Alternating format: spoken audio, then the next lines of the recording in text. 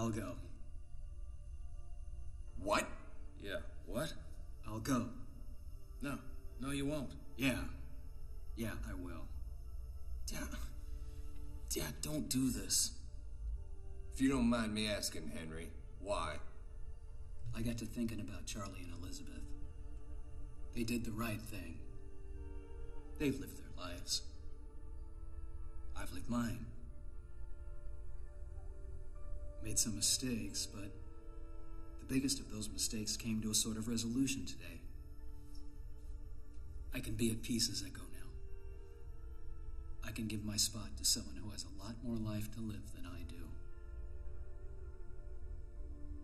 Who knows, maybe that son of a bitch over there will realize he doesn't have to be such an asshole to get attention. If someone will just give him some more time. Don't do this, Dad.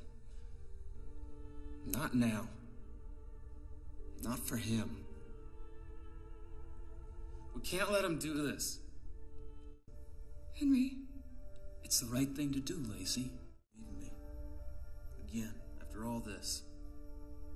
John, you don't need me. You got your own family now. I failed. But you won't. Somehow that gives me a sense of success, too. That's enough for me. Well, it's not enough for me. It's still not fair. I know you don't feel that way right now, but maybe someday. Right. We're running out of time here, John.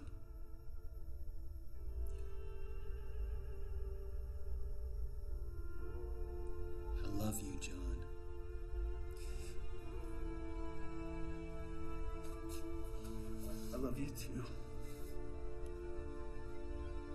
Goodbye, son. Bye, Dad. Goodbye. Bye, everyone.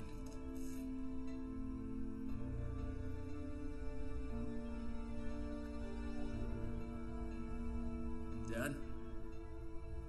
Yeah? Thanks. For